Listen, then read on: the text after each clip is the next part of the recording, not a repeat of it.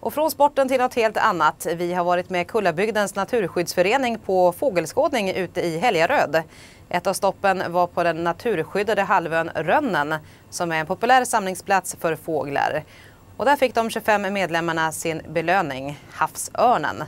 Under en halvtimmes lyckosam skådning så fick man se fyra havsörnar.